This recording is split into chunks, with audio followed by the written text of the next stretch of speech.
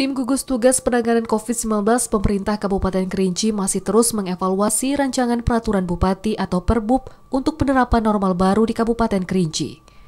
Perbub untuk penerapan normal baru akan mengatur kegiatan pemerintahan dan masyarakat yang melibatkan banyak orang, seperti pembukaan objek wisata milik pemerintah, kegiatan belajar mengajar tetap muka dan mengatur tentang acara pernikahan, dan kegiatan lainnya yang dapat menimbulkan keramaian.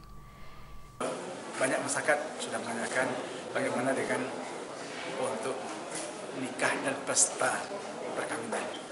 Juga itu kita bicarakan tadi uh, agar masyarakat kita tidak salah melakukan, agar mereka tetap melangsungkan kehidupan mereka. Begitu juga dengan objek-objek wisata. Evaluasi terhadap Perbu penerapan normal baru masih dilakukan agar penerapannya dapat berjalan baik dan tidak terjadi lonjakan kasus positif COVID-19. Edward Rosman, TVRI Jambi melaporkan.